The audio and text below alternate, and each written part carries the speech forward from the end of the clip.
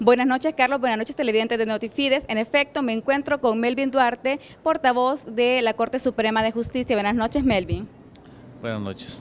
Melvin, eh, llegó la información de que se han destituido a 47 funcionarios eh, públicos. Queremos que usted nos corrobore o nos diga si es cierto o no esta noticia.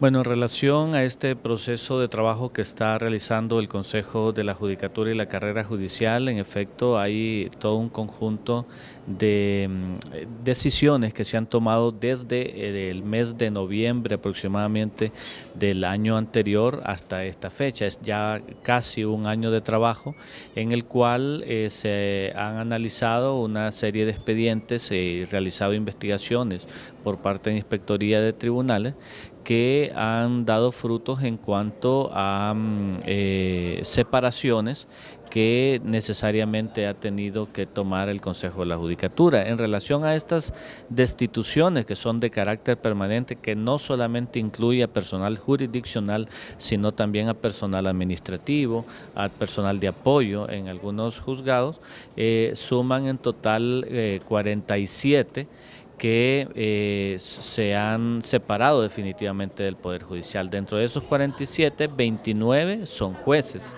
que eh, han estado realizando o realizaron sus tareas en diferentes partes del país y el resto es personal mm, entre jurisdiccional y administrativo, pero de otras categorías, no necesariamente jueces. Asimismo, eh, se han realizado suspensiones, que estas suspensiones el máximo pues han sido de tres eh, meses, una vez que Inspectoría de Tribunales ha encontrado las, los argumentos suficientes para estas eh, suspensiones.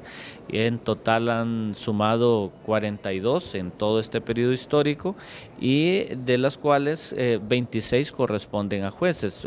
Pero de estos 18 ya han sido reintegrados ya que cumplieron, digamos, con eh, esa responsabilidad eh, y ese tiempo de suspensión que establece la normativa del Poder eh, Judicial. Pero en cuanto a destituciones de carácter permanente, le reitero, el número son 47 de todas las categorías, de las cuales 29 corresponden a jueces propiamente. Muchísimas gracias, Melvin. Bueno, Carlos, ya escuchamos que estas 47 destituciones pues ha sido a lo largo dice, de este periodo del año pasado. Así que yo regreso a estudio y buenas noches.